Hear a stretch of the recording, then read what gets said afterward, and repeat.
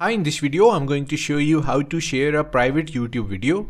Sharing a private YouTube video allows you to control access, ensuring that only selected individuals can view your content. So let's start the video. The first step is to open YouTube Studio.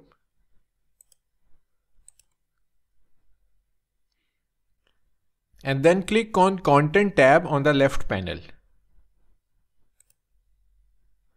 Here make sure Videos tab is selected so this is the private YouTube video which we want to share.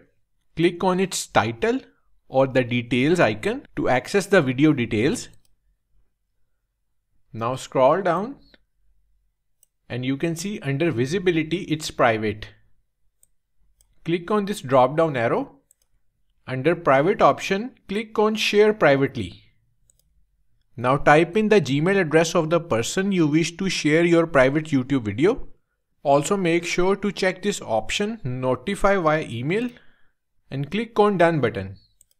As you can see privately shared with this email address. Now click on done button and then click on save button. So this is how other person will receive the email. Click on it to view this private video.